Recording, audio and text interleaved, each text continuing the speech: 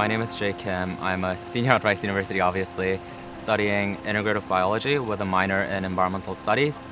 I was born and raised in Korea, but I moved to New York when I was 10. After graduation, I'll be pursuing postgraduate education at the University of Oxford, funded by the Rhodes Scholarship, and it's two years. And during my first year, I want to do a master's in environmental change, and my second year, I'm, I'm hoping to do a master's in public policy. This was another major um, environmental justice, like historical movement. After Oxford, I want to come back to the U.S. and do uh, like a medical degree.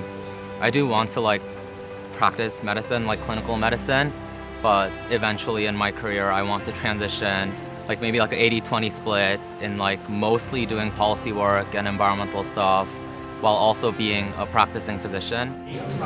So I want to have that physician training, that physician network. I want to do more policy, more advocacy, and yeah, do like global global scale work as well. Studying climate change in the oil capital of the world, I could not have thought of a better place to study climate change and environmental justice than Houston. I think it was like academically very enriching for me too.